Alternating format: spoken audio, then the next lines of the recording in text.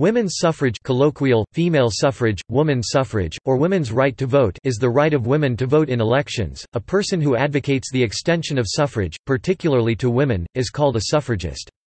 Limited voting rights were gained by women in Finland, Iceland, Sweden and some Australian colonies and western U.S. states in the late 19th century. National and international organizations formed to coordinate efforts to gain voting rights, especially the International Woman Suffrage Alliance founded in 1904, Berlin, Germany, and also worked for equal civil rights for women. In 1881, the Isle of Man gave women who owned property the right to vote. In 1893, the British colony of New Zealand granted women the right to vote. The colony of South Australia did the same in 1894 and all women were able to vote in the next election, which was held in 1896. South Australia also permitted women of any race to stand for election alongside men, and was the first in the world to allow women to stand for election. In 1899 Western Australia enacted full women's suffrage, enabling women to vote in the constitutional referendum of 31 July 1900 and the 1901 state and federal elections. In 1902 women in the remaining four colonies also acquired the right to vote and stand in federal elections after the six Australian colonies federated to become the Commonwealth of Australia. Discriminatory restrictions against Aboriginal people, including women, voting in national elections, were not completely removed until 1962. The first European country to introduce women's suffrage was the Grand Duchy of Finland, then part of the Russian Empire, which elected the world's first women members of parliament in the 1907 parliamentary elections. Norway followed, granting full women's suffrage in 1913. Denmark followed in 1915, and Russian Provisional Government in 1917. Most independent countries enacted women's suffrage in the interwar era, including Canada in 1917, Britain over 30 in 1918, over 21 in 1928, Germany, Poland in 1918, Austria and the Netherlands in 1919, and the United States in 1920. Voting Rights Act of 1965 secured voting rights for racial minorities. Leslie Hume argues that the First World War changed the popular mood. The women's contribution to the war effort challenged the notion of women's physical and mental inferiority and made it more difficult to maintain that women were, both by constitution and temperament, unfit to vote. If women could work in munitions factories, it seemed both ungrateful and illogical to deny them a place in the polling booth. But the vote was much more than simply a reward for war work, the point was that women's participation in the war helped to dispel the fears that surrounded women's entry into the public arena. Late adopters in Europe were Spain in 1933, France in 1944, Italy in 1946, Greece in 1952, San Marino in 1959, Monaco in 1962, Andorra in 1970, Switzerland in 1971 at federal level, and at local canton level between 1959 in the cantons of Vaud and Neuchâtel and 1991 in the canton of Appenzell-Innerrhoden, and Liechtenstein in 1984. In addition, although women in Portugal obtained suffrage in 1931, this was with stronger restrictions than those of men. Full gender equality in voting was only granted in 1976. The United States gave women equal voting rights in all states with the 19th Amendment ratified in 1920. Brazil implemented full voting rights for women in 1932. Canada and some Latin American nations passed women's suffrage before World War II while the vast majority of Latin American nations established women's suffrage in the 1940s, with the exception of Uruguay in 1917 see table in summary below. The last Latin American country to give women the right to vote was Paraguay in 1961. In December 2015, women were first allowed to vote in Saudi Arabia municipal elections. Extended political campaigns by women and their supporters have generally been necessary to gain legislation or constitutional amendments for women's suffrage. In many countries, limited suffrage for women was granted before universal suffrage for men, for instance, literate women or property owners were granted suffrage before all men received it. The United Nations encouraged women's suffrage in the years following World War II, and the Convention on the Elimination of All Forms of Discrimination Against Women 1979 identifies it as a basic right with 189 countries currently being parties to this convention. History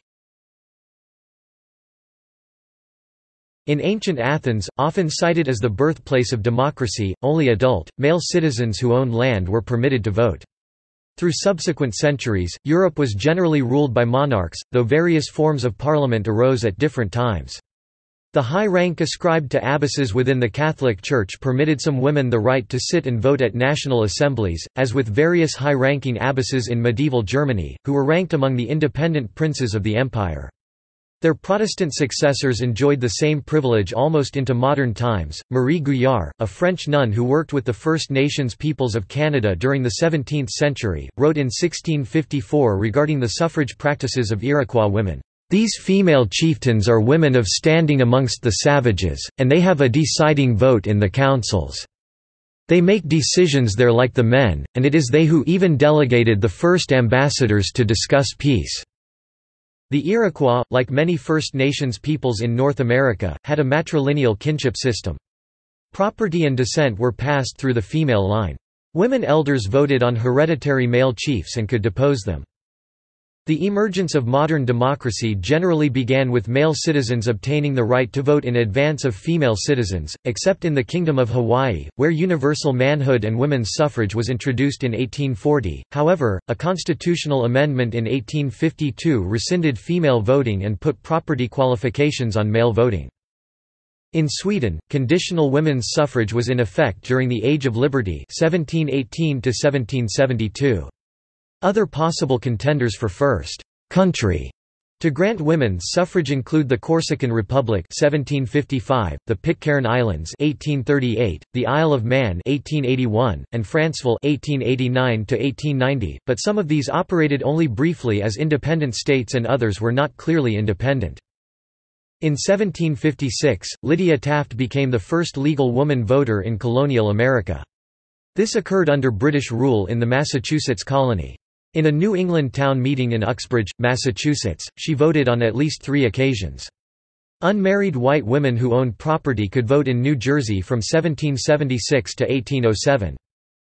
In the 1792 elections in Sierra Leone, then a new British colony, all heads of household could vote and one-third were ethnic African women. The female descendants of the bounty mutineers who lived on Pitcairn Islands could vote from 1838. This right was transferred after they resettled in 1856 to Norfolk Island now an Australian external territory, the seed for the first Women's Rights Convention in the United States in Seneca Falls, New York was planted in 1840, when Elizabeth Cady Stanton met Lucretia Mott at the World Anti-Slavery Convention in London. The conference refused to seat Mott and other women delegates from the U.S. because of their sex. In 1851, Stanton met temperance worker Susan B. Anthony, and shortly the two would be joined in the long struggle to secure the vote for women in the U.S. In 1868 Anthony encouraged working women from the printing and sewing trades in New York, who were excluded from men's trade unions, to form working women's associations. As a delegate to the National Labor Congress in 1868, Anthony persuaded the Committee on Female Labor to call for votes for women and equal pay for equal work. The men at the conference deleted the reference to the vote. In the U.S. women in the Wyoming Territory could vote as of 1869. Subsequent American suffrage groups often disagreed on tactics, with the National American Woman Suffrage Association arguing for a state-by-state -state campaign and the National Woman's Party focusing on an amendment to the U.S. Constitution. In 1881 the Isle of Man, an internally self-governing dependent territory of the British Crown, enfranchised women property owners. With this it provided the first action for women's suffrage within the British Isles. The Pacific Commune of Franceville, now Port Vila, Vanuatu, maintained independence from 1889 to 1890, becoming the first self-governing nation to adopt universal suffrage without distinction of sex or color. Although only white males were permitted to hold office, of currently existing independent countries, New Zealand was the first to acknowledge women's right to vote in 1893 when it was a self-governing British colony. Unrestricted women's suffrage in terms of voting rights women were not initially permitted to stand for election was adopted in New Zealand in 1893.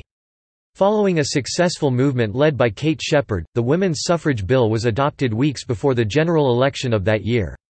The women of the British Protectorate of Cook Islands obtained the same right soon after and beat New Zealand's women to the polls in 1893. The self governing British colony of South Australia enacted universal suffrage in 1895, also allowing women to stand for the colonial parliament that year.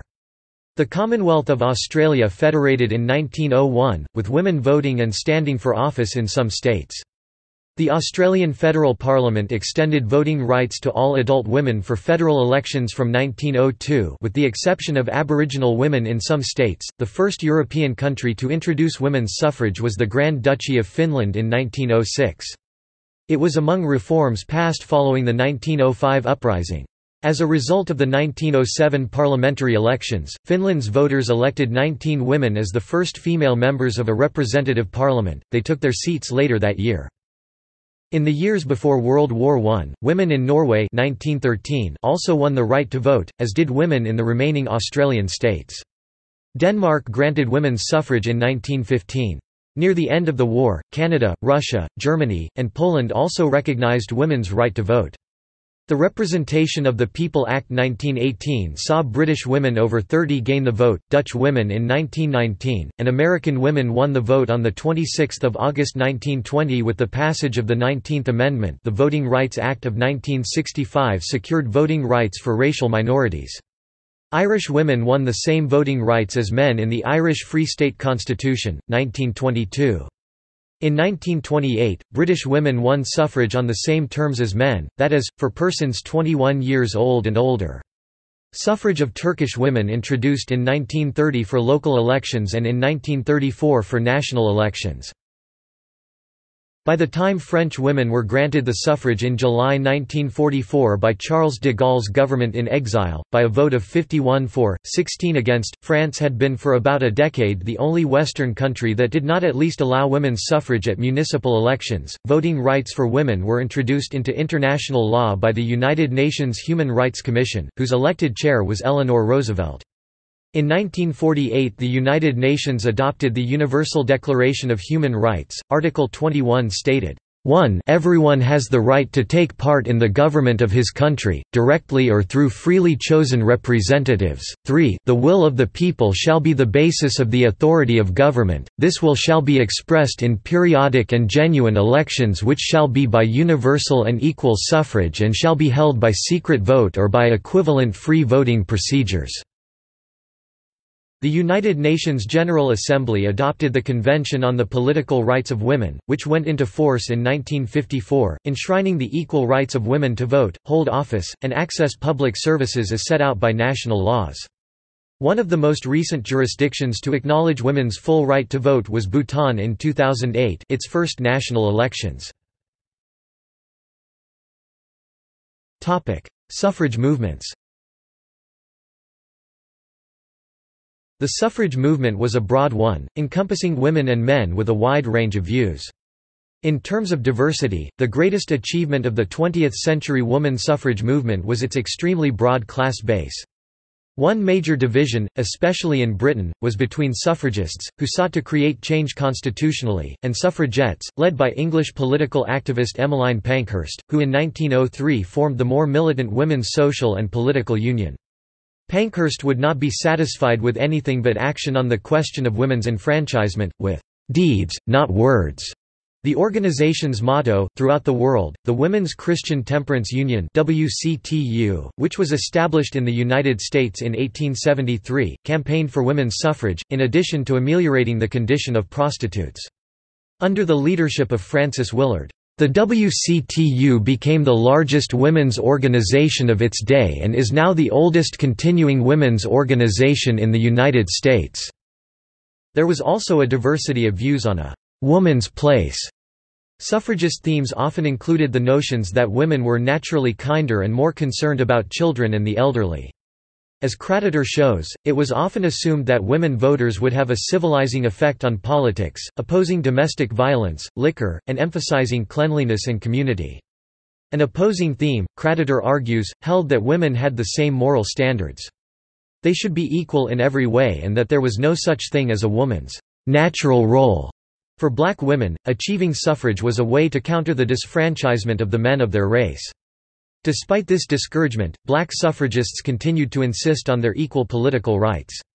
Starting in the 1890s, African American women began to assert their political rights aggressively from within their own clubs and suffrage societies. If white American women, with all their natural and acquired advantages, need the ballot, argued Adela Hunt Logan of Tuskegee, Alabama. How much more do black Americans, male and female, need the strong defense of a vote to help secure their right to life, liberty and the pursuit of happiness?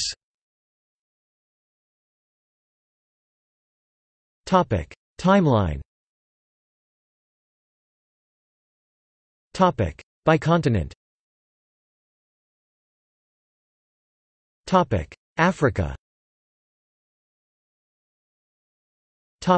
Sierra Leone One of the first occasions when women were able to vote was in the elections of the Nova Scotian settlers at Freetown. In the 1792 elections, all heads of household could vote and one-third were ethnic African women. Women won the right to vote in Sierra Leone in 1930. South Africa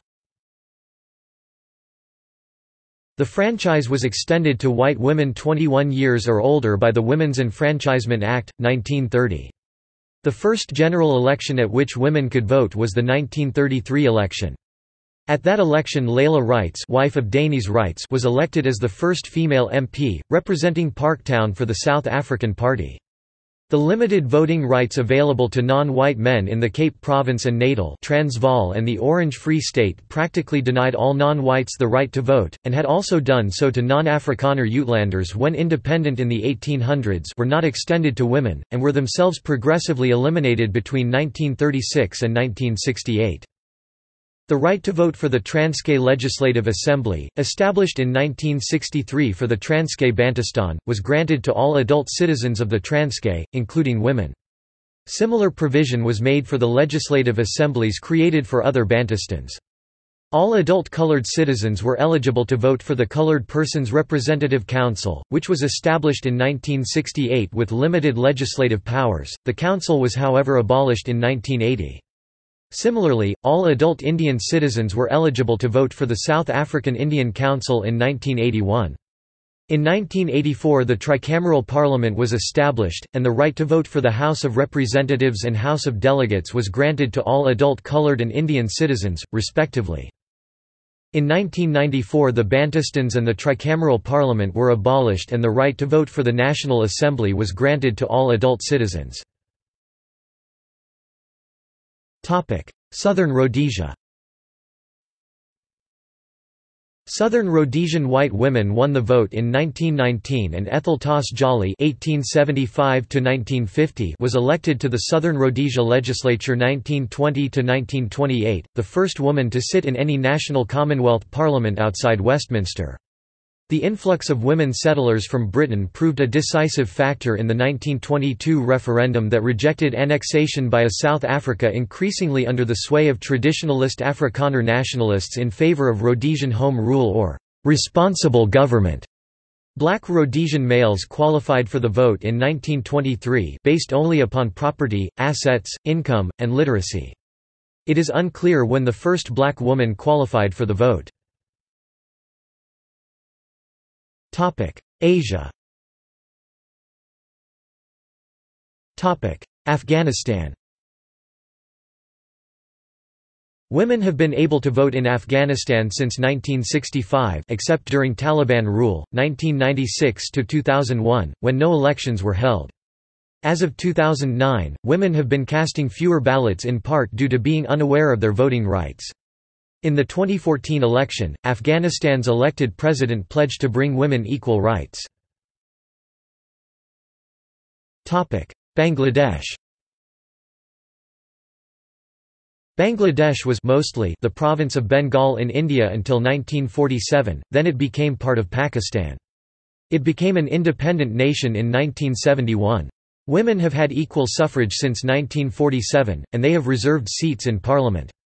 Bangladesh is notable in that since 1991, two women, namely Sheikh Hasina and Begum Khalida Zia, have served terms as the country's prime minister continuously. Women have traditionally played a minimal role in politics beyond the anomaly of the two leaders, few used to run against men, few have been ministers. Recently, however, women have become more active in politics, with several prominent ministerial posts given to women and women participating in national, district and municipal elections against men and winning on several occasions. Chowdhury and Hasanuzzaman argue that the strong patriarchal traditions of Bangladesh explain why women are so reluctant to stand up in politics. India Women in India were allowed to vote right from the first general elections after the independence of India in 1947 unlike during the British rule who resisted allowing women to vote. The Women's Indian Association was founded in 1917. It sought votes for women and the right to hold legislative office on the same basis as men. These positions were endorsed by the main political groupings, the Indian National Congress.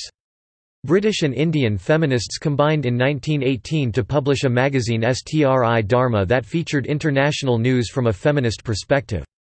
In 1919 in the Montagu-Chelmsford reforms, the British set up provincial legislatures which had the power to grant women's suffrage. Madras in 1921 granted votes to wealthy and educated women, under the same terms that applied to men.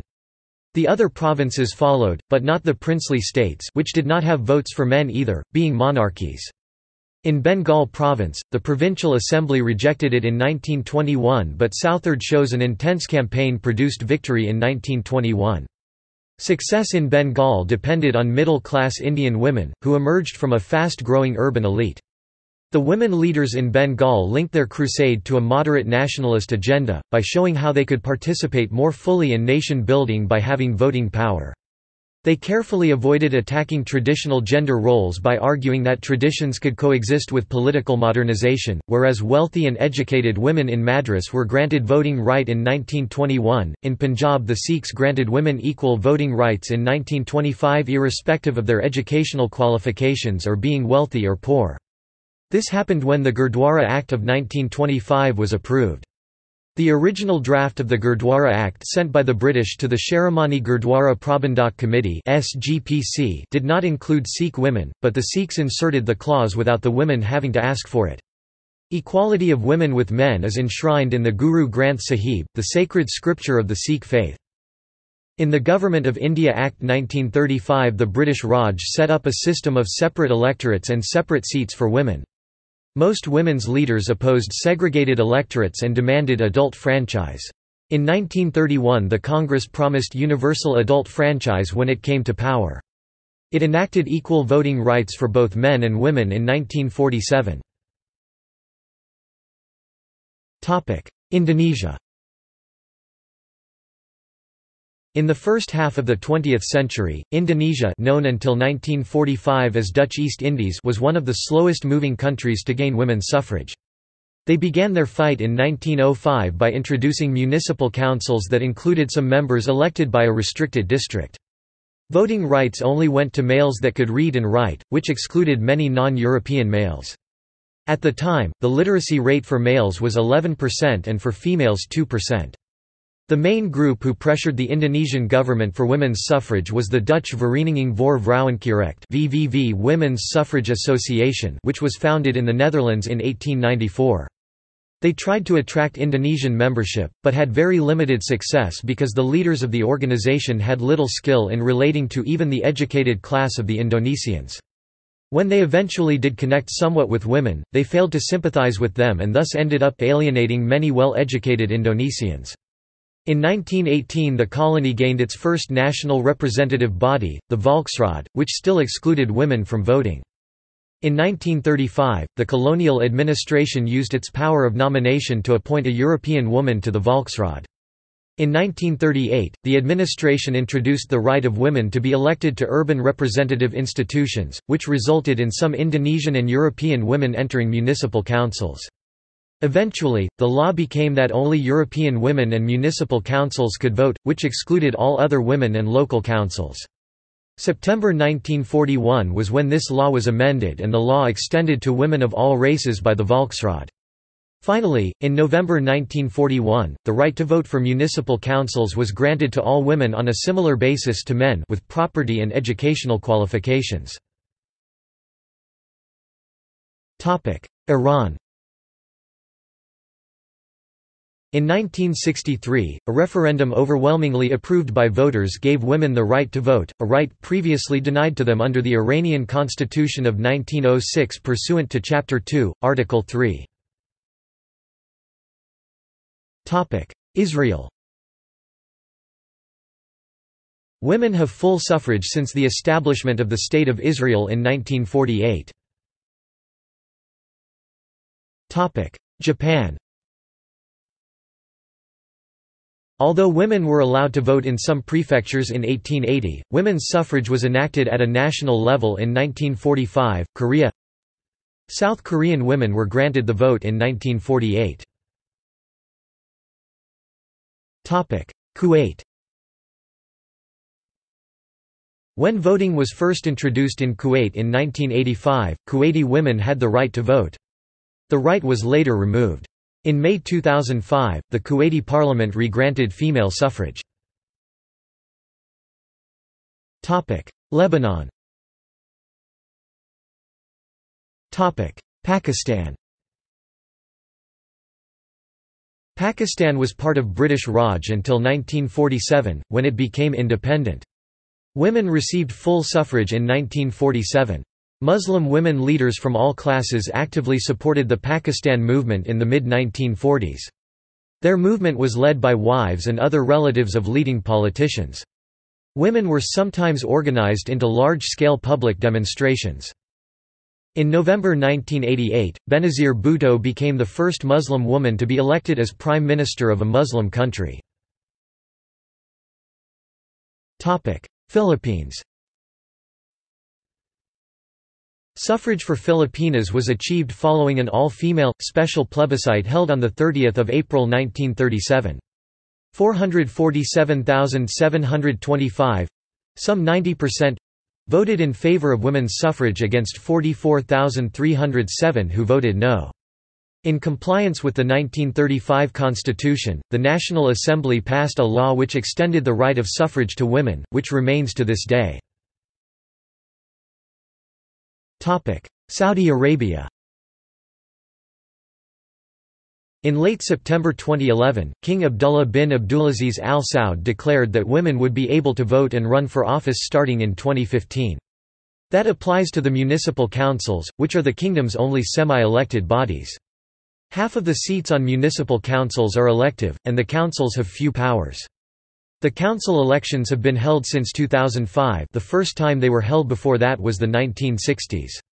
Saudi women did first vote and first run for office in December 2015, for those councils. Salma bint Hazab al-Otaibi became the first elected female politician in Saudi Arabia in December 2015, when she won a seat on the council in Madraka in Mecca province. In all, the December 2015 election in Saudi Arabia resulted in 20 women being elected to municipal councils. The king declared in 2011 that women would be eligible to be appointed to the Shura Council, an unelected body that issues advisory opinions on national policy. This is great news, said Saudi writer and women's rights activist Wajeha al-Huwaider. Women's voices will finally be heard. Now it is time to remove other barriers like not allowing women to drive cars and not being able to function, to live a normal life without male guardians." Robert Lacey, author of two books about the kingdom, said, this is the first positive, progressive speech out of the government since the Arab Spring. First the warnings, then the payments, now the beginnings of solid reform. Quote, the king made the announcement in a five-minute speech to the Shura Council. In January 2013, King Abdullah issued two royal decrees, granting women 30 seats on the council, and stating that women must always hold at least a fifth of the seats on the council.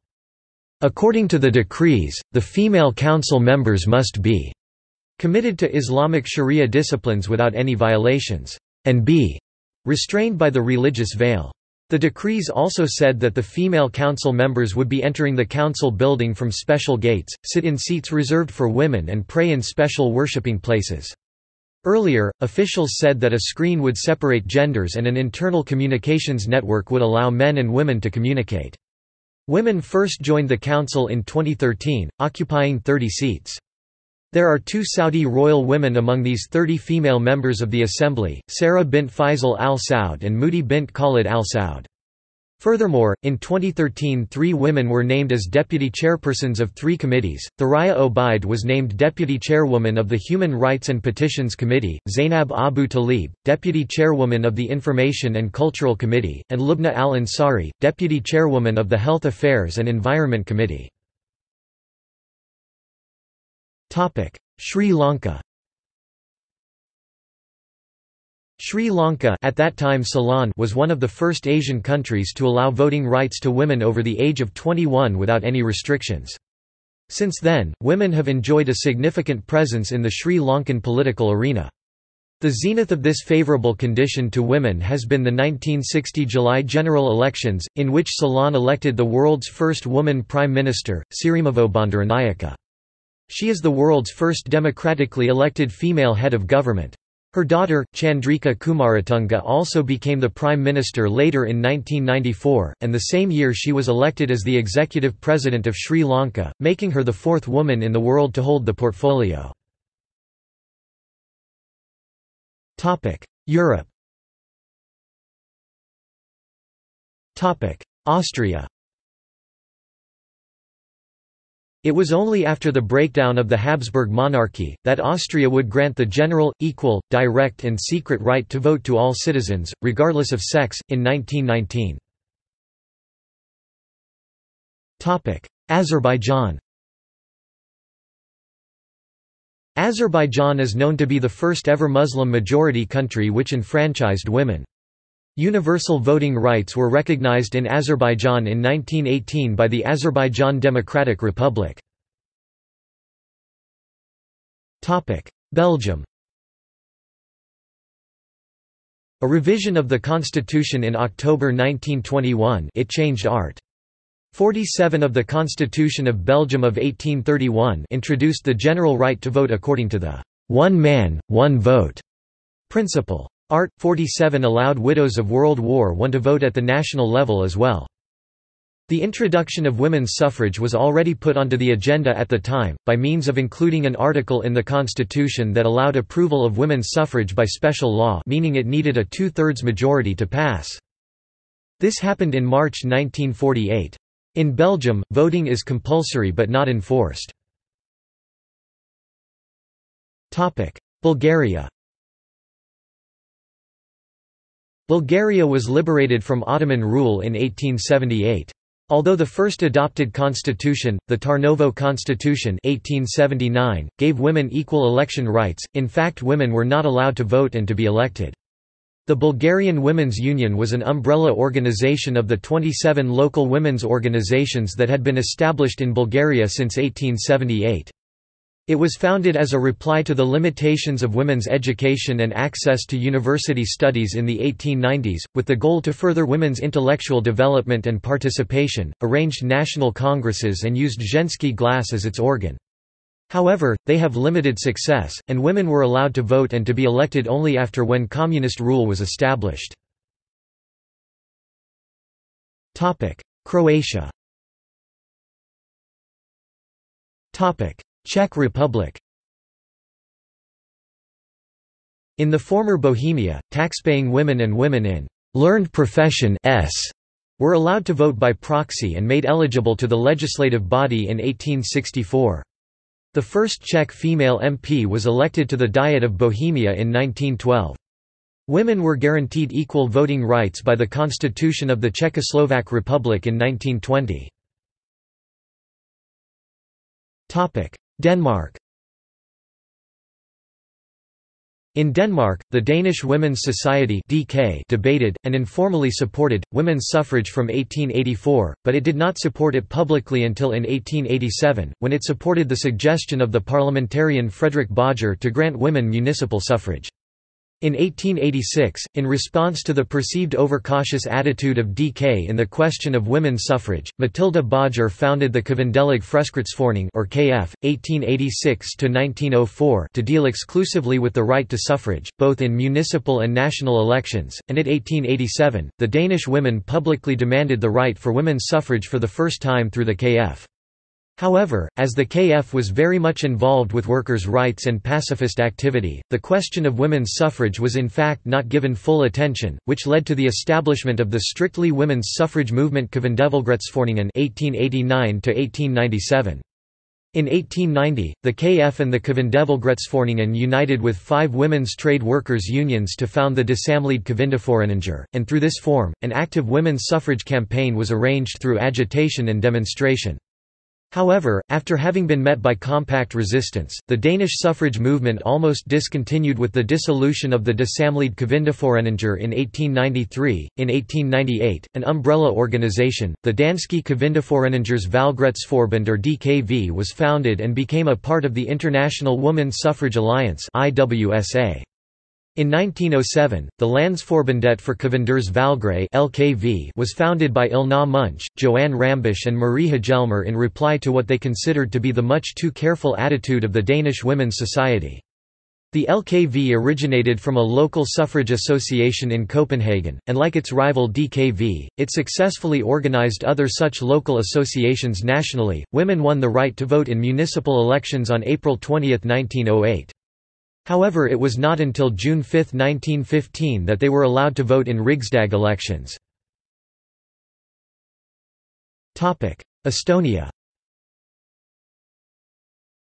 Estonia gained its independence in 1918 with the Estonian War of Independence. However, the first official elections were held in 1917. These were the elections of temporary council i.e. Maapäev, which ruled Estonia from 1917 to 1919.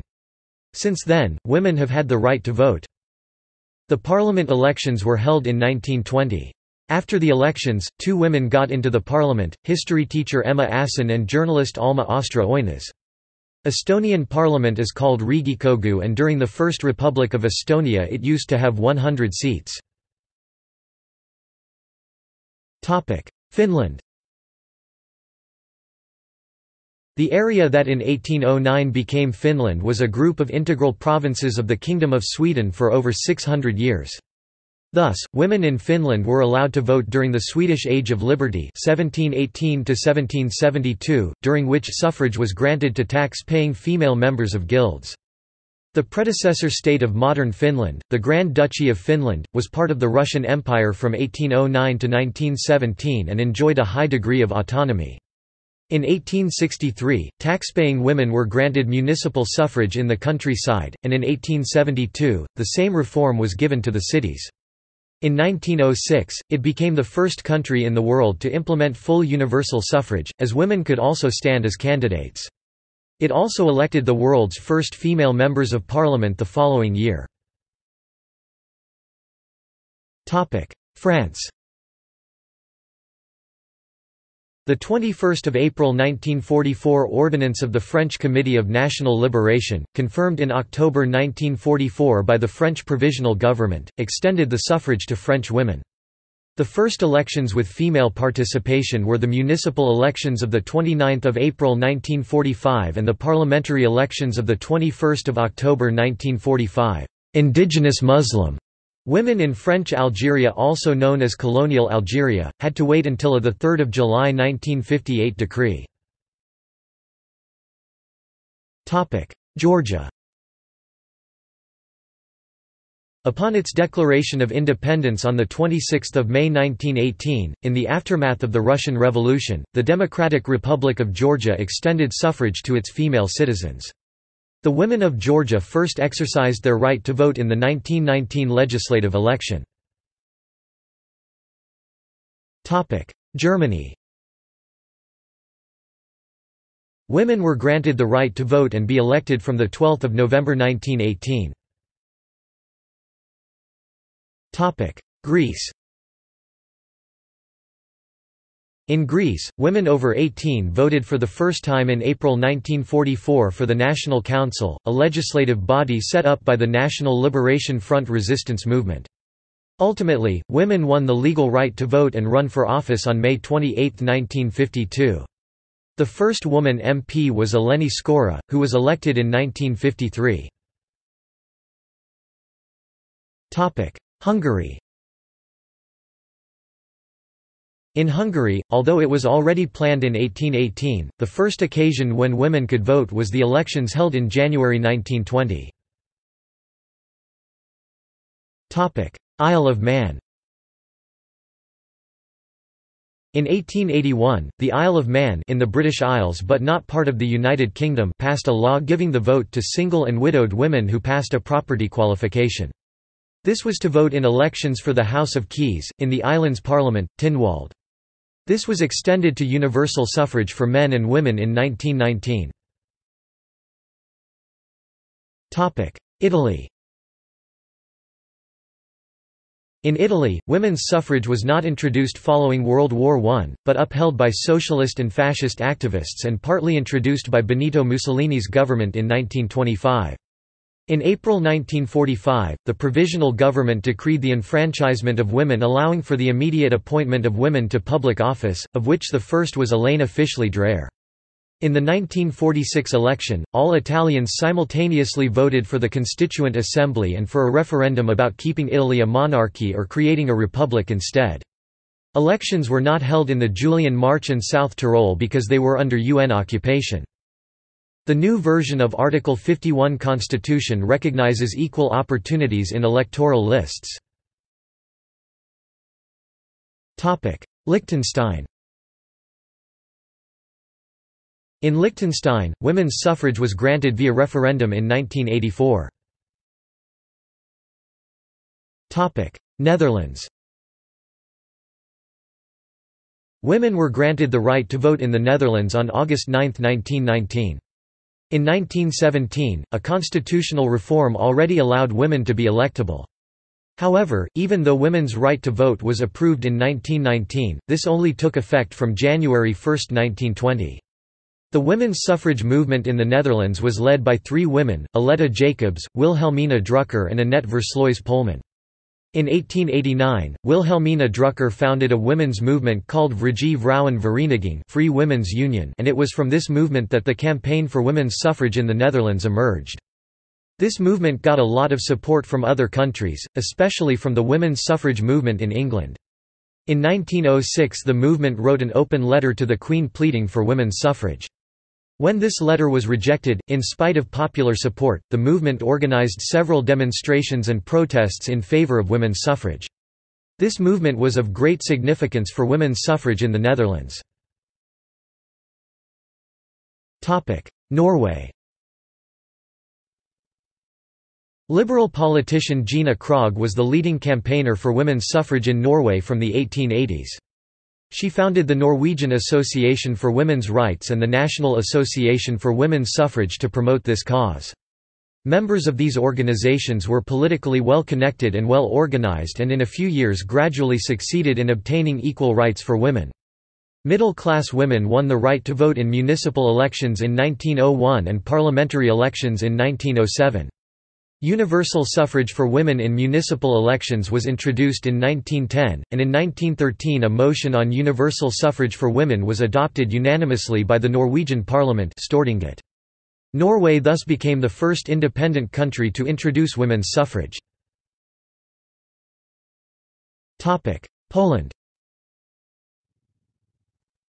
Regaining independence in 1918 following the 123-year period of partition and foreign rule, Poland immediately granted women the right to vote and be elected as of 28 November 1918. The first women elected to the Sejm in 1919 were, Gabriela Balicka, Jadwiga Dziubińska, Irena Kosmowska, Maria Moczydłowska, Zofia Moraczewska, Anna Piasecka, Zofia Sokolnicka, and Franciszka Wilczkowiakowa. Portugal Carolina Beatriz Angelo was the first Portuguese woman to vote, in the Constituent National Assembly election of 1911, taking advantage of a loophole in the country's electoral law. In 1931 during the Estado Novo regime, women were allowed to vote for the first time, but only if they had a high school or university degree, while men had only to be able to read and write. In 1946 a new electoral law enlarged the possibility of female vote, but still with some differences regarding men. A law from 1968 claimed to establish equality of political rights for men and women, but a few electoral rights were reserved for men. After the Carnation Revolution, women were granted full and equal electoral rights in 1976. Romania The timeline of granting women's suffrage in Romania was gradual and complex, due to the turbulent historical period when it happened. The concept of universal suffrage for all men was introduced in 1918, and reinforced by the 1923 Constitution of Romania. Although this constitution opened the way for the possibility of women's suffrage too Article 6, this did not materialize. The Electoral Law of 1926 did not grant women the right to vote, maintaining all male suffrage. Starting in 1929, women who met certain qualifications were allowed to vote in local elections. After the constitution from 1938 elaborated under Carol II of Romania who sought to implement an authoritarian regime the voting rights were extended to women for national elections by the Electoral Law 1939, but both women and men had restrictions, and in practice these restrictions affected women more than men the new restrictions on men also meant that men lost their previous universal suffrage. Although women could vote, they could be elected only in the Senate and not in the Chamber of Deputies Article 4 c. The Senate was later abolished in 1940. Due to the historical context of the time, which included the dictatorship of Ion Antonescu, there were no elections in Romania between 1940 to 1946. In 1946, Law No. 560 gave full equal rights to men and women to vote and to be elected in the Chamber of Deputies, and women voted in the Romanian general election, 1946. The Constitution of 1948 gave women and men equal civil and political rights Article 18. Until the collapse of communism in 1989, all the candidates were chosen by the Communist Party, and civil rights were merely symbolic under this authoritarian regime. Russia Despite initial apprehension against enfranchising women for the right to vote for the upcoming Constituent Assembly election, the League for Women's Equality and other suffragists rallied throughout the year of 1917 for the right to vote. After much pressure including a 40,000-strong march on the Tauride Palace, on July 20, 1917 the Provisional Government enfranchised women with the right to vote. San Marino San Marino introduced women's suffrage in 1959, following the 1957 constitutional crisis known as Fatti di Rovereta. It was however only in 1973 that women obtained the right to stand for election. Spain During the Miguel Primo de Rivera regime 1923 only women who were considered heads of household were allowed to vote in local elections, but there were none at that time. Women's suffrage was officially adopted in 1931 despite the opposition of Margarita Nelken and Victoria Kent, two female MPs both members of the Republican Radical Socialist Party, who argued that women in Spain at that moment lacked social and political education enough to vote responsibly because they would be unduly influenced by Catholic priests. During the Franco regime in the «organic democracy» type of elections called «referendums», Franco's regime was dictatorial women over 21 were allowed to vote without distinction. From 1976, during the Spanish transition to democracy women fully exercised the right to vote and be elected to office. Sweden During the Age of Liberty 1718 Sweden had conditional women suffrage. Until the reform of 1865, the local elections consisted of mayoral elections in the cities, and elections of parish vicars in the countryside parishes. The Sockenstämma was the local parish council who handled local affairs, in which the parish vicar presided and the local peasantry assembled and voted, an informally regulated process in which women are reported to have participated already in the 17th century. The national elections consisted of the election of the representations to the Riksdag of the estates. Suffrage was gender neutral and therefore applied to women as well as men if they filled the qualifications of a voting citizen. These qualifications were changed during the course of the 18th century, as well as the local interpretation of the credentials, affecting the number of qualified voters. The qualifications also differed between cities and countryside, as well as local or national elections. Initially, the right to vote in local city elections, mayoral elections was granted to every burgher, which was defined as a tax-paying citizen with a guild membership. Women as well as men were members of guilds, which resulted in women suffrage for a limited number of women. In 1734, suffrage in both national and local elections, in cities as well as countryside, was granted to every property-owning tax-paying citizen of legal majority. This extended suffrage to all tax-paying property-owning women whether guild members or not, but excluded married women and the majority of unmarried women, as married women were defined as legal minors, and unmarried women were minors unless they applied for legal majority by royal dispensation, while widowed and divorced women were of legal majority. The 1734 reform increased the participation of women in elections from 55 to 71 percent. Between 1726 and 1742, women voted in 17 of 31 examined mayoral elections. Reportedly, some women voters in mayoral elections preferred to appoint a male to vote for them by proxy in the city hall because they found it embarrassing to do so in person, which was cited as a reason to abolish women's suffrage by its opponents. The custom to appoint to vote by proxy was however used also by males, and it was in fact common for men, who were absent or ill during elections, to appoint their wives to vote for them. In 1758, women were excluded from mayoral elections by a new regulation by which they could no longer be defined as burghers, but women's suffrage was kept in the national elections as well as the countryside parish elections. Women participated in all of the 11 national elections held up until 1757. In 1772, women's suffrage in national elections was abolished by demand from the burgher estate. Women's suffrage was first abolished for tax-paying unmarried women of legal majority, and then for widows. However, the local interpretation of the prohibition of women's suffrage varied, and some cities continued to allow women to vote. In Kalmar, Växjö, Västervik, Simrishamn, Ystad, Amal, Karlstad, Bergslagen, Dalarna, and Norrland, women were allowed to continue to vote despite the 1772 ban, while in Lund, Uppsala, Skara, Abo, Gothenburg, and Marstrand, women were strictly barred from the vote after 1772. While women's suffrage was banned in the mayoral elections in 1758 and in the national elections in 1772, no such bar was ever introduced in the local elections in the countryside, where women therefore continued to vote in the local parish elections of vicars.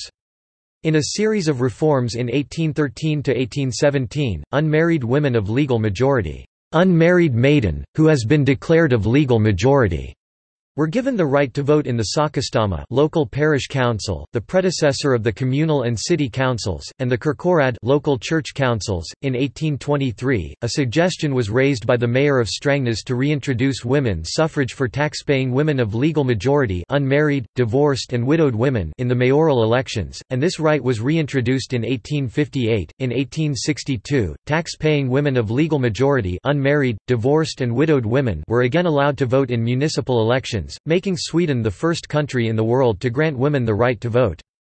This was after the introduction of a new political system, where a new local authority was introduced, the communal municipal council. The right to vote in municipal elections applied only to people of legal majority, which excluded married women, as they were juridically under the guardianship of their husbands. In 1884 the suggestion to grant women the right to vote in national elections was initially voted down in Parliament. During the 1880s, the Married Woman's Property Rights Association had a campaign to encourage the female voters, qualified to vote in accordance with the 1862 law, to use their vote and increase the participation of women voters in the elections, but there was yet no public demand to women's suffrage among women. In 1888, the temperance activist Emilie Rathou became the first woman in Sweden to demand the right for women's suffrage in a public speech. In 1899, a delegation from the Fredrika Bremer Association presented a suggestion of woman suffrage to Prime Minister Erik Gustaf Boström. The delegation was headed by Agda Montelius, accompanied by Gertrud Adelborg, who had written the demand. This was the first time the Swedish women's movement themselves had officially presented a demand for suffrage. In 1902 the Swedish Society for Woman Suffrage was founded. In 1906 the suggestion of women's suffrage was voted down in Parliament again. In 1909, the right to vote in municipal elections were extended to include also married women. The same year, women were granted eligibility to municipal councils, and in the following 1910–11 municipal elections, 40 women were elected to different municipal councils, Gertrud Månsson being the first. In 1914 Emilia Broomé became the first woman in the Legislative Assembly. The right to vote in national elections was not returned to women until 1919, and was practiced again in the election of 1921, for the first time in 150 years. After the 1921 election, the first women were elected to Swedish Parliament after the suffrage, Kerstin Hesselgren in the upper chamber and Nelly Thüring Social Democrat, Agda Östlund Social Democrat, Elisabeth Tamm Liberal and Bertha Wellin Conservative in the lower chamber. Karin Kock Lindberg became the first female government minister, and in 1958, Ulla Lindström became the first acting prime minister. Switzerland A referendum on women's suffrage was held on 1 February 1959. The majority of Switzerland's men 67% voted against it, but in some French-speaking cantons women obtained the vote. The first Swiss woman to hold political office, Trudy Spath-Schweizer, was elected to the municipal government of Riehen in 1958. Switzerland was the last Western republic to grant women's suffrage. They gained the right to vote in federal elections in 1971 after a second referendum that year. In 1991 following a decision by the Federal Supreme Court of Switzerland, Appenzell Innerrhoden became the last Swiss canton to grant women the vote on local issues. The first female member of the seven-member Swiss Federal Council, Elisabeth Kopp, served from 1984 to 1989. Ruth Dreifuss, the second female member, served from 1993 to 1999, and was the first female president of the Swiss Confederation for the year 1999. From the 22nd of September 2010 until the 31st of December 2011 the highest political executive of the Swiss Confederation had a majority of female councillors 4 of 7 for the 3 years 2010, 2011 and 2012 Switzerland was presided by female presidency for 3 years in a row the latest one was for the year 2017 Topic Turkey In Turkey, Ataturk, the founding president of the republic, led a secularist cultural and legal transformation supporting women's rights including voting and being elected. Women won the right to vote in municipal elections on March 20, 1930. Women's suffrage was achieved for parliamentary elections on December 5, 1934, through a constitutional amendment. Turkish women, who participated in parliamentary elections for the first time on February 8, 1935, obtained 18 seats. In the early republic, when Ataturk ran a one-party state, his party picked all candidates. A small percentage of seats were set aside for women, so naturally those female candidates won. When multi-party elections began in the 1940s, the share of women in the legislature fell, and the 4% share of parliamentary seats gained in 1935 was not reached again until 1999. In the Parliament of 2011, women hold about 9% of the seats. Nevertheless, Turkish women gained the right to vote a decade or more before women in such Western European countries as France, Italy, and Belgium—a mark of Ataturk's far-reaching social changes. United Kingdom The campaign for women's suffrage in the United Kingdom of Great Britain and Ireland gained momentum throughout the early part of the 19th century, as women became increasingly politically active, particularly during the campaigns to reform suffrage in the United Kingdom. John Stuart Mill, elected to Parliament in 1865 and an open advocate of female suffrage about to publish The Subjection of Women, campaigned for an amendment to the Reform Act 1832 to include female suffrage. Roundly defeated in an all-male parliament under a conservative government, the issue of women's suffrage came to the fore. Until the 1832 Reform Act specified, "...male persons," A few women had been able to vote in parliamentary elections through property ownership, although this was rare. In local government elections, single women ratepayers received the right to vote in the Municipal Franchise Act 1869. This right was confirmed in the Local Government Act 1894 and extended to include some married women. By 1900, more than one million single women were registered to vote in local government elections in England. In 1881, the Isle of Man in the British Isles but not part of the United Kingdom passed a law giving the vote to single and widowed women who passed a property qualification. This was to vote in elections for the House of Keys, in the island's parliament, Tynwald. This was extended to universal suffrage for men and women in 1919. During the later half of the 19th century, a number of campaign groups for women's suffrage in national elections were formed in an attempt to lobby members of parliament and gain support. In 1897, 17 of these groups came together to form the National Union of Women's Suffrage Societies who held public meetings, wrote letters to politicians and published various texts. In 1907 the NUWSS organized its first large procession. This march became known as the Mud March as over 3,000 women trudged through the streets of London from Hyde Park to Exeter Hall to advocate women's suffrage. In 1903, a number of members of the NUWSS broke away and, led by Emmeline Pankhurst, formed the Women's Social and Political Union. As the national media lost interest in the suffrage campaign, the WSPU decided it would use other methods to create publicity. This began in 1905 at a meeting in Manchester's Free Trade Hall where Edward Grey, 1st Viscount Grey of Falodon, a member of the newly elected Liberal government, was speaking. As he was talking, Christabel Pankhurst and Annie Kenney of the WSPU constantly shouted out, "'Will the Liberal government give votes to women?' When they refused to cease calling out, police were called to evict them and the two suffragettes as members of the WSPU became known after this incident were involved in a struggle which ended with them being arrested and charged for assault. When they refused to pay their fine, they were sent to prison for one week, and three days. The British public were shocked and took notice at this use of violence to win the vote for women. After this media success, the WSPU's tactics became increasingly violent. This included an attempt in 1908 to storm the House of Commons, the arson of David Lloyd George's country home despite his support for women's suffrage. In 1909 Lady Constance Lytton was imprisoned, but immediately released when her identity was discovered, so in 1910 she disguised herself as a working-class seamstress called Jane Warton and endured inhumane treatment which included force-feeding. In 1913, suffragette Emily Davison protested by interfering with a horse owned by King George V during the running of the Derby, she was trampled and died four days later. The WSPU ceased their militant activities during World War I and agreed to assist with the war effort. The National Union of Women's Suffrage Societies, which had always employed constitutional methods, continued to lobby during the war years, and compromises were worked out between the NUWSS and the coalition government. The Speakers' Conference on Electoral Reform 1917 represented all the parties in both houses, and came to the conclusion that women's suffrage was essential.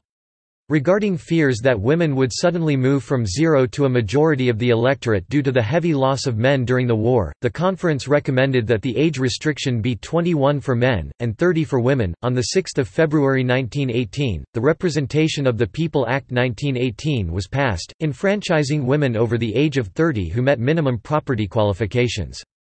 About 8.4 million women gained the vote in Great Britain and Ireland. In November 1918, the Parliament Qualification of Women Act 1918 was passed, allowing women to be elected into Parliament. The Representation of the People Equal Franchise Act 1928 extended the franchise in Great Britain and Northern Ireland to all women over the age of 21, granting women the vote on the same terms as men. In 1999, Time magazine, in naming Emmeline Pankhurst as one of the 100 most important people of the 20th century, states she shaped an idea of women for our time, she shook society into a new pattern from which there could be no going back. Oceania. Australia the female descendants of the Bounty mutineers who lived on Pitcairn Islands could vote from 1838, and this right transferred with their resettlement to Norfolk Island now an Australian external territory in 1856. Propertied women in the colony of South Australia were granted the vote in local elections but not parliamentary elections in 1861. Henrietta Dugdale formed the first Australian Women's Suffrage Society in Melbourne, Victoria in 1884. Women became eligible to vote for the Parliament of South Australia in 1895, as were Aboriginal men and women. In 1897, Catherine Helen Spence became the first female political candidate for political office, unsuccessfully standing for election as a delegate to Federal Convention on Australian Federation.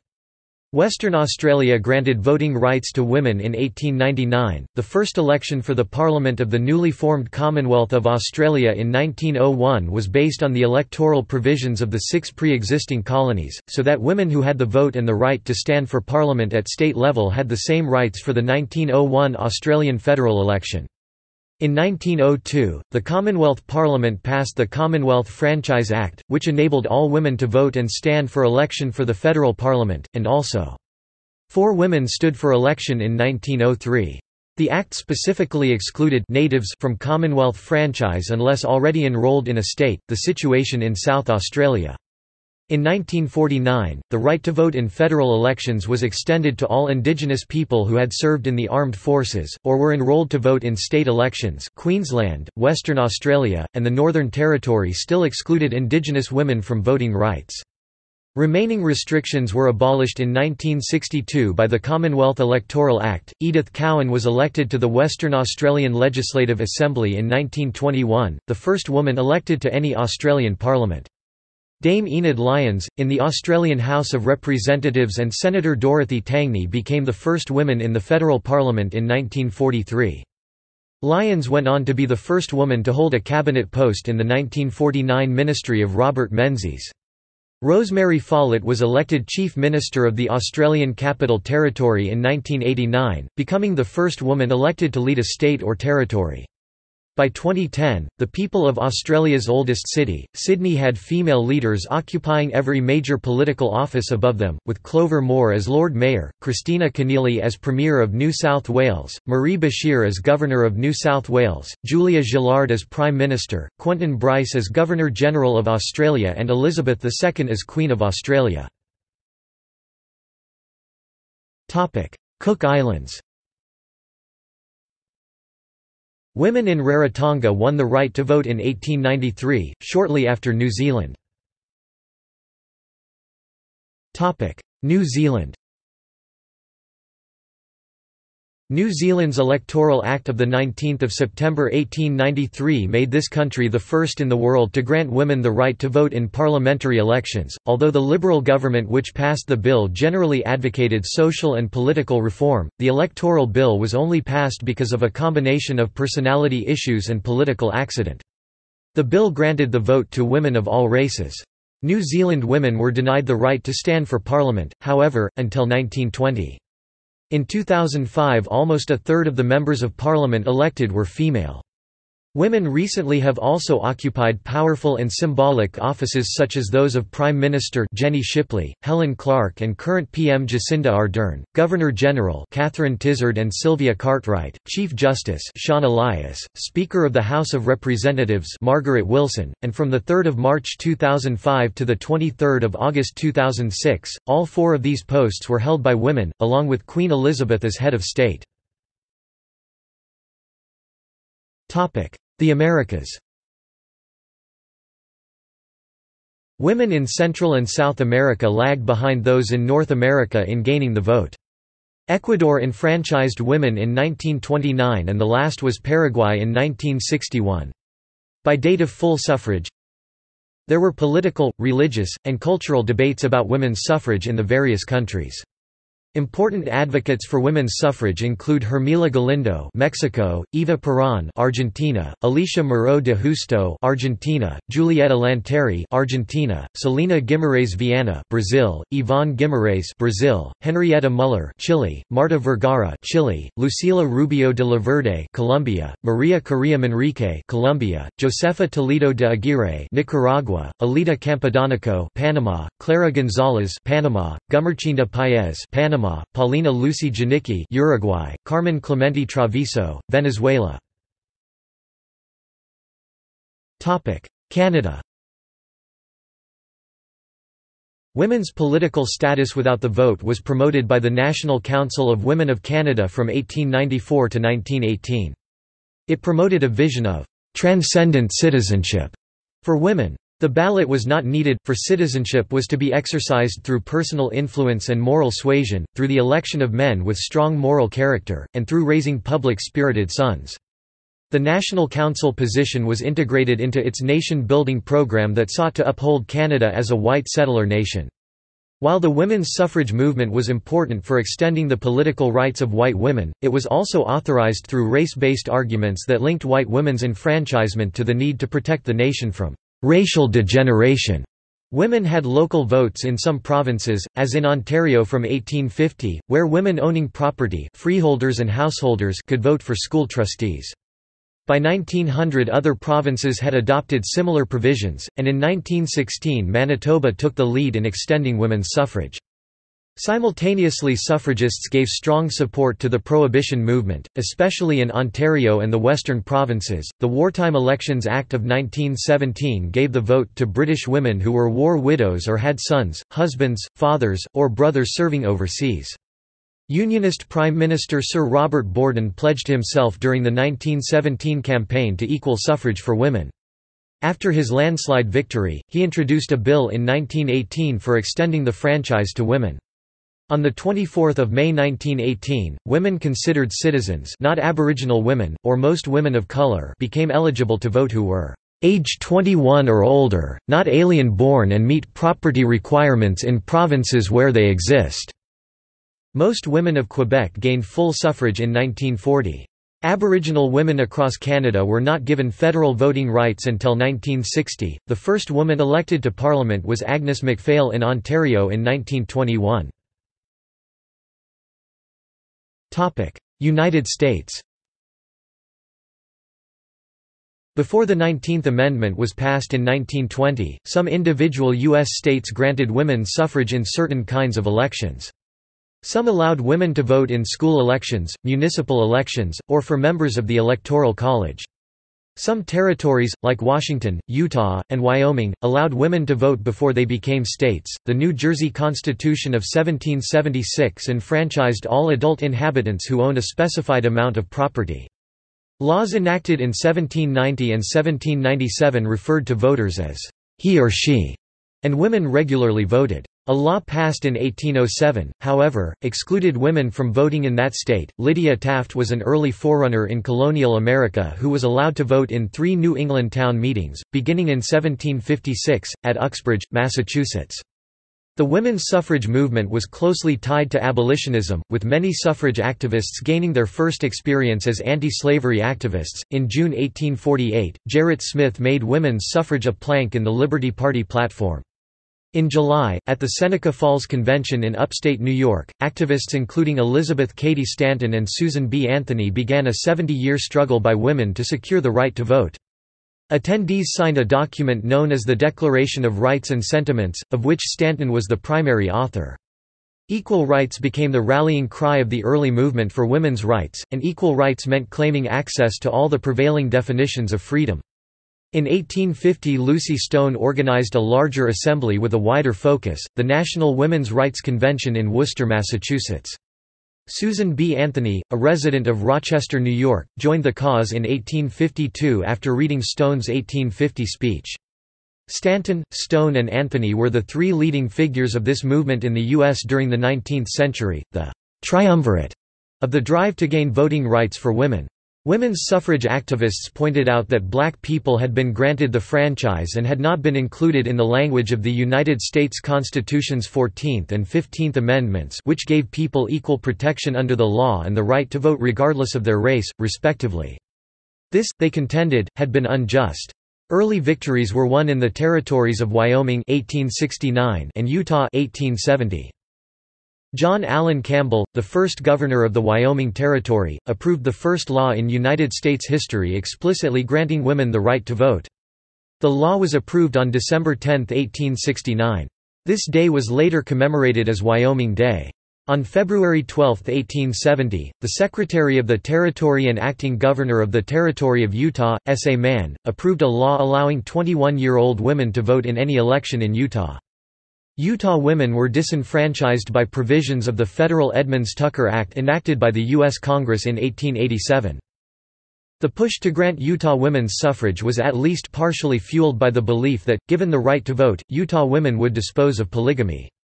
It was only after Utah women exercised their suffrage rights in favor of polygamy that the U.S. Congress disenfranchised Utah women. By the end of the 19th century, Idaho, Utah, and Wyoming had enfranchised women after effort by the suffrage associations at the state level. Colorado notably enfranchised women by an 1893 referendum. During the beginning of the 20th century, as women's suffrage faced several important federal votes, a portion of the suffrage movement known as the National Woman's Party led by suffragist Alice Paul became the first cause to picket outside the White House.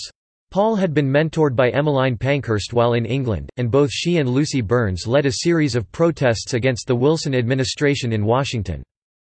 Wilson ignored the protests for six months, but on June 20, 1917, as a Russian delegation drove up to the White House, suffragists unfurled a banner which stated, "'We women of America tell you that America is not a democracy. Twenty million women are denied the right to vote. President Wilson is the chief opponent of their national enfranchisement." Another banner on August 14, 1917, referred to Kaiser Wilson and compared the plight of the German people with that of American women. With this manner of protest, the women were subject to arrests and many were jailed. Another ongoing tactic of the National Woman's Party was watchfires, which involved burning copies of President Wilson's speeches, often outside the White House or in the nearby Lafayette Park. The party continued to hold watchfires even as the war began, drawing criticism from the public and even other suffrage groups for being unpatriotic. On October 17, Alice Paul was sentenced to seven months and on October 30 began a hunger strike, but after a few days prison authorities began to force-feed her. After years of opposition, Wilson changed his position in 1918 to advocate women's suffrage as a war measure. The key vote came on June 4, 1919, when the Senate approved the amendment by 56 to 25 after four hours of debate, during which Democratic senators opposed to the amendment filibustered to prevent a roll call until their absent senators could be protected by pairs. The ayes included 36 Republicans and 20 Democrats. The nays comprised 8 Republicans and 17 Democrats. The Nineteenth Amendment, which prohibited state or federal sex-based restrictions on voting, was ratified by sufficient states in 1920. According to the article, "'Nineteenth Amendment' by Leslie Goldstein from the Encyclopedia of the Supreme Court of the United States. By the end it also included jail sentences, and hunger strikes in jail accompanied by brutal force feedings, mob violence, and legislative votes so close that partisans were carried in on stretchers. Goldstein, 2008. Even after the 19th Amendment was ratified, women were still facing problems. For instance, when women had registered to vote in Maryland, residents sued to have the women's names removed from the registry on the grounds that the amendment itself was unconstitutional. Goldstein, 2008. Before 1965, women of color, such as African Americans and Native Americans, were disenfranchised, especially in the South. The Voting Rights Act of 1965 prohibited racial discrimination in voting, and secured voting rights for racial minorities throughout the U.S. Argentina The modern suffragist movement in Argentina arose partly in conjunction with the activities of the Socialist Party and anarchists of the early 20th century. Women involved in larger movements for social justice began to agitate equal rights and opportunities on par with men, following the example of their European peers. Elvira Dellepiane Rawson, Cecilia Grierson, and Alicia Moreau de Justo began to form a number of groups in defense of the civil rights of women between 1900 and 1910. The first major victories for extending the civil rights of women occurred in the province of San Juan. Women had been allowed to vote in that province since 1862, but only in municipal elections. A similar right was extended in the province of Santa Fe where a constitution that ensured women's suffrage was enacted at the municipal level, although female participation in votes initially remained low. In 1927, San Juan sanctioned its constitution and broadly recognized the equal rights of men and women.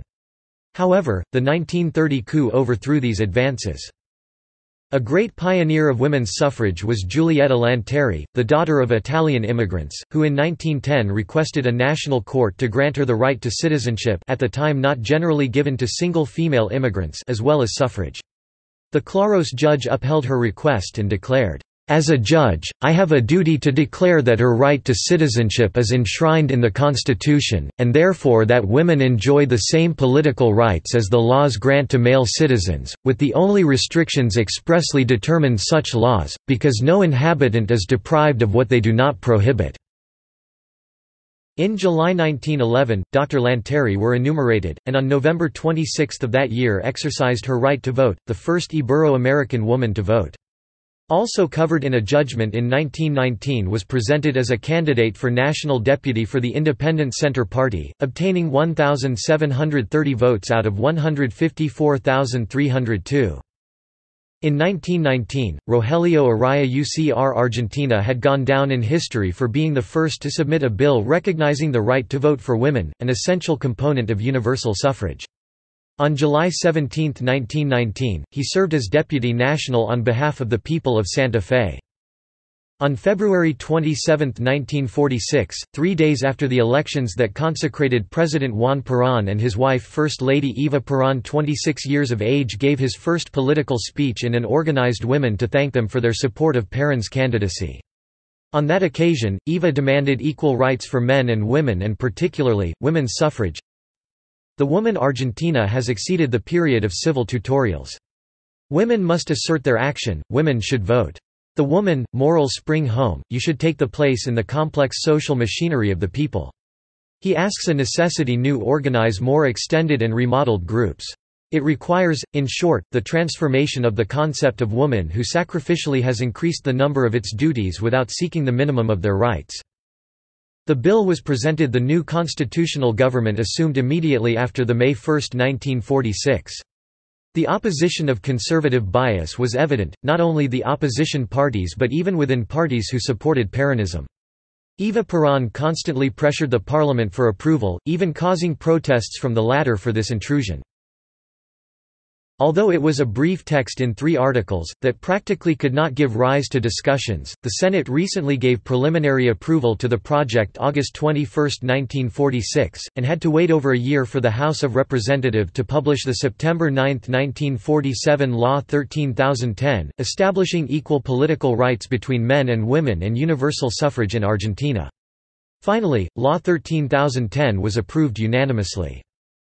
In an official statement on national television, Eva Perón announced the extension of suffrage to Argentina's women. Women of this country, this very instant I receive from the government the law that enshrines our civic rights.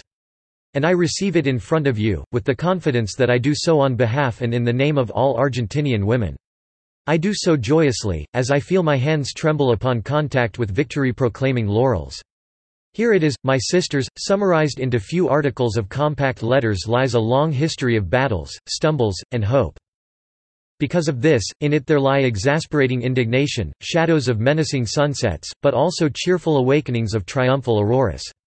And the latter which translates the victory of women over the incomprehensions, the denials, and the interests created by the castes now repudiated by our national awakening and a leader who destiny forged to victoriously face the problems of our era, General Perón.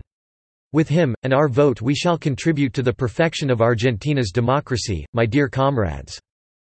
On 23 September 1947, they enacted the Female Enrollment Act No. 13010 during the first presidency of Juan Domingo Perón, which was implemented in the elections of November 11, 1951, in which 3,816,654 women voted 63.9% voted for the Justicialist Party and 30.8% for the Radical Civic Union. Later in 1952, the first 23 senators and deputies took their seats, representing the Justicialist Party. Brazil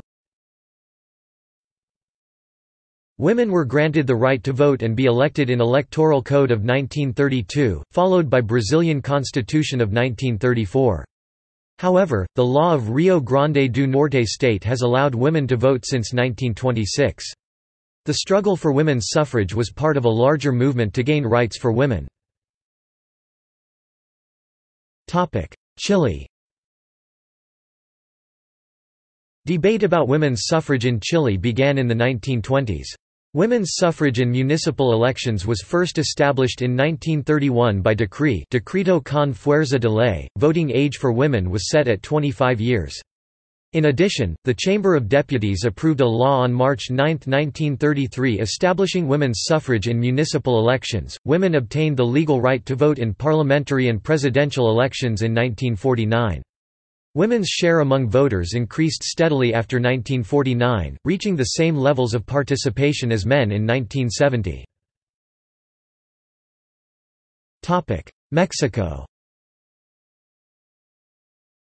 The liberal Mexican Constitution of 1857 did not bar women from voting in Mexico or holding office, but Election laws restricted the suffrage to males, and in practice women did not participate nor demand a part in politics with framers being indifferent to the issue. Years of civil war and the French intervention delayed any consideration of women's role in Mexican political life, but during the restored republic and the Porfiriato 1876 women began organizing to expand their civil rights, including suffrage.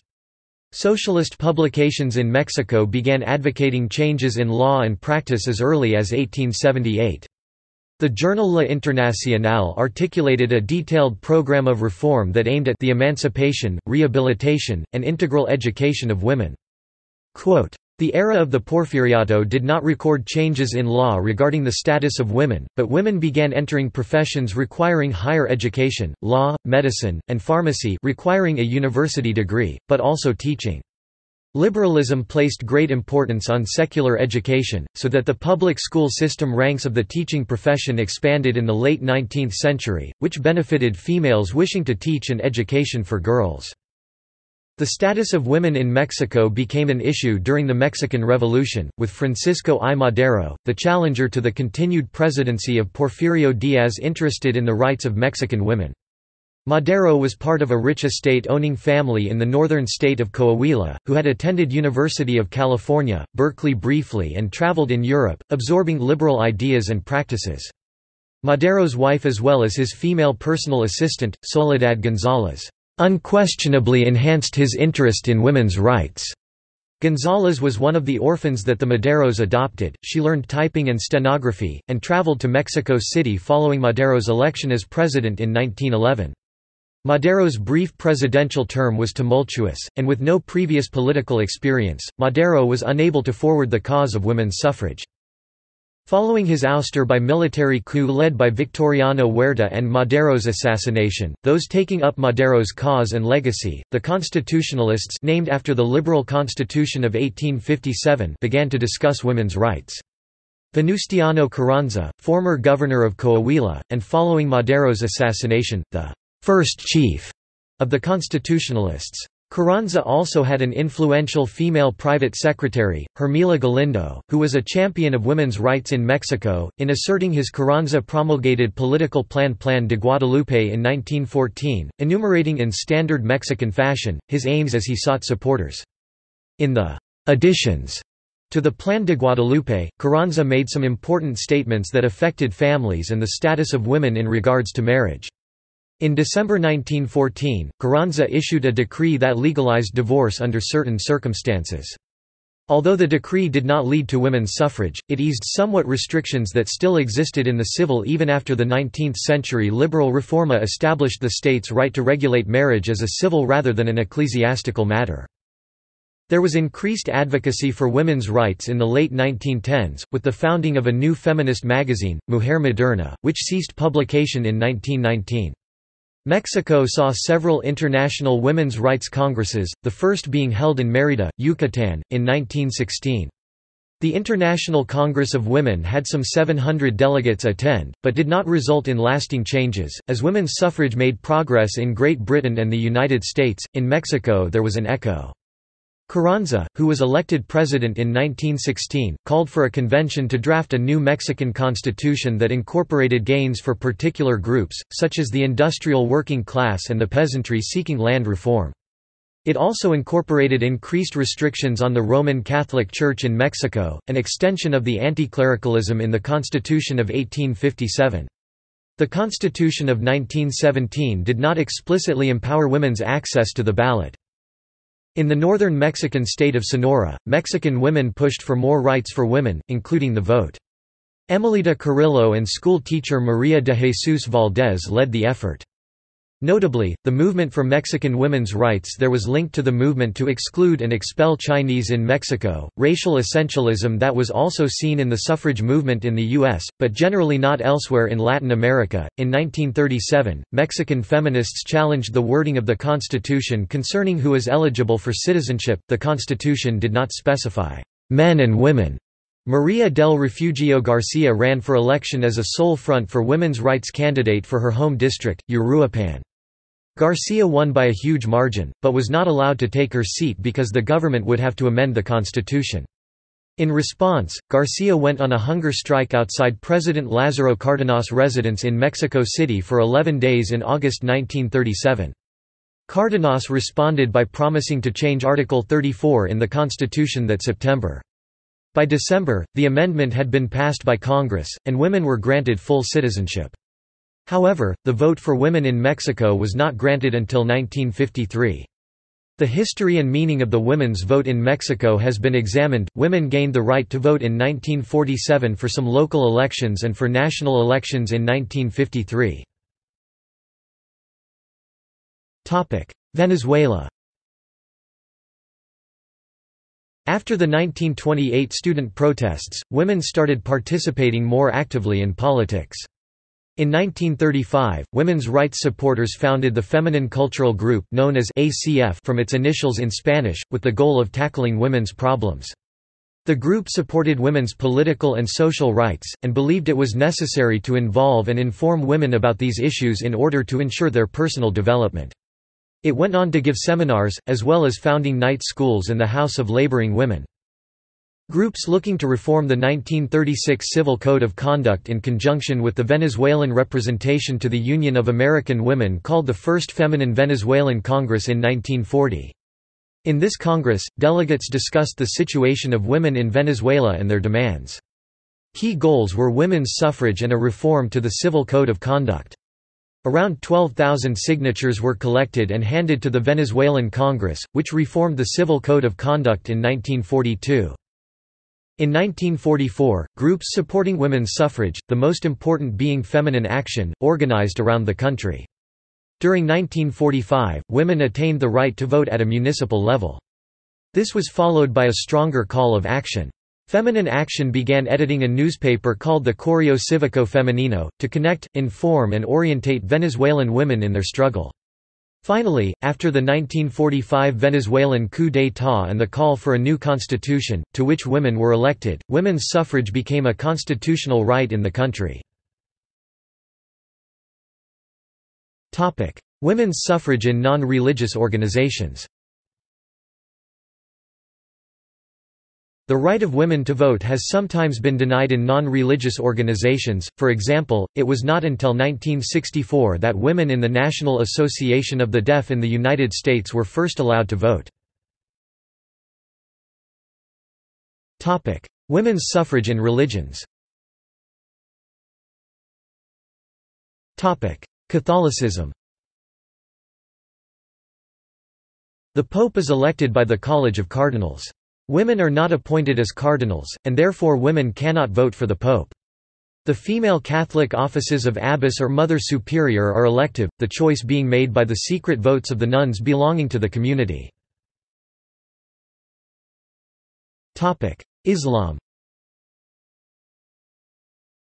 In the United States, some mosques have constitutions prohibiting women from voting in board elections. Judaism In conservative Judaism, Reform Judaism and other liberal Jewish movements women have the right to vote. Since the 1970s, more and more modern Orthodox synagogues and religious organizations have been granting women the rights to vote and to be elected to their governing bodies. In a few ultra-Orthodox Jewish communities women are denied the vote or the ability to be elected to positions of authority. Topic timelines Timeline of first women's suffrage in majority Muslim countries Timeline of women's suffrage Timeline of women's legal rights other than voting Topic See also Anti-suffragism List of monuments and memorials to women's suffrage List of suffragists and suffragettes List of the first female holders of political offices in Europe List of women's rights activists Open Christmas letter Silent Sentinels Suffrage hikes Women's suffrage movement in Washington Women's suffrage organizations Women's work Women's suffrage parade of 1913 Topic Notes topic Further reading Bach, Gisela. Das politische Denken des Suffragismus, Deutschland um 1900 im internationalen Vergleich, in, Gisela Bach, Geschlechtergeschichten der Neuzeit, Göttingen 2014, 168–203. Bush, Julia. Women Against the Vote, Female Anti-Suffragism in Britain Oxford UP, 2007. Crawford, Elizabeth. The Women's Suffrage Movement, A Reference Guide, 1866–1928 1999, worldwide coverage, 800 pp, online Hannam, June, Mitzi Auchterlonie, and Catherine Holden. International Encyclopedia of Women's Suffrage ABC Clio Inc., 2000. Hannam, June. International Dimensions of Women's Suffrage, at the crossroads of several interlocking identities Women's History Review 14.3-4 2005, 543-560. Lloyd, Trevor, Suffragettes International, The Worldwide Campaign for Women's Rights New York, American Heritage Press, 1971. Markoff, John. Margins, Centers, and Democracy, The Paradigmatic History of Women's Suffrage, Signs 2003-29 No. 1 pp. 85–116 in JSTOR Owens, Rosemary Cullen. Smashing Times, A History of the Irish Women's Suffrage Movement, 1889–1922 Irish Books and Media, 1984. Raeburn, Antonia. Militant Suffragettes London, New English Library, 1973 on Great Britain Ramirez, Francisco O., Yasemin Soysal, and Suzanne Shanahan. The Changing Logic of Political Citizenship, Cross-National Acquisition of Women's Suffrage Rights, 1890–1990, American Sociological Review 1997-62 No. 5 pp 735–45, in JSTOR topic United States Baker, Jean H. Sisters, The Lives of America's Suffragists. Hill and Wang, New York, 2005. ISBN 0-8090-9528-9. Dubois, Carol and Lynn Dumenil, eds. 1999. Through Women's Eyes, An American History with Documents, 456 475. Dubois, Ellen Carol. Harriet Stanton Blatch and the Winning of Woman Suffrage New Haven and London, Yale University Press, 1997. ISBN 0-300-06562-0 Flexner, Eleanor, Century of Struggle, The Woman's Rights Movement in the United States, enlarged edition with foreword by Ellen Fitzpatrick 1959, 1975, Cambridge and London, The Belknap Press of the Harvard University Press, 1996. ISBN 0-674-10653-9 Kraditor, Aileen S. Ideas of the Woman Suffrage Movement, 1890–1920, 1965. Mackenzie, Midge, Shoulder to Shoulder, A Documentary New York, Alfred A. Knopf, 1975. ISBN 0-394-73070-4 External links. Photo essay on women's suffrage by the International Museum of Women. Women's suffrage a World Chronology of the Recognition of Women's Rights to Vote and to Stand for Election. Suffrage in Canada CIA Yearbook, Suffrage Press release with respect to Qatar and Yemen UNCG Special Collections and University Archives selections of American suffragette manuscripts Photographs of U.S. suffragettes, marches, and demonstrations Ada James Papers and Correspondence 1915 a digital collection presented by the University of Wisconsin Digital Collection Center. Ada James (1876–1952) was a leading a social reformer, humanitarian, and pacifist from Richland Center, Wisconsin, and daughter of state senator David G. James. The Ada James Papers document the grassroots organizing and politics required to promote and guarantee the passage of women's suffrage in Wisconsin and beyond. Women's suffrage in Germany The 19th of January 1919. First suffrage active and passive for women in Germany. Suffragists versus suffragettes. Brief article outlining origins of term suffragette, usage of term and links to other sources. Women in Congress Information about women who have served in the U.S. Congress including historical essays that cover suffrage.